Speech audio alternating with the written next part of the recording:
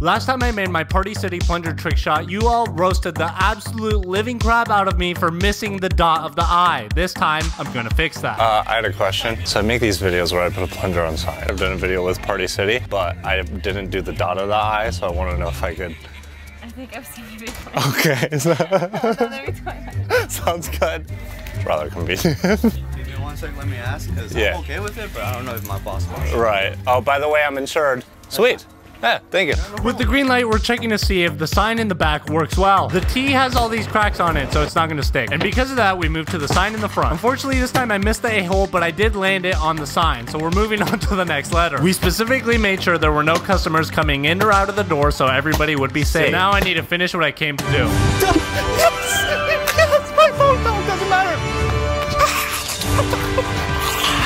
During the removal process, I accidentally broke the wooden shaft. I did later get it down with a plunger mushroom head.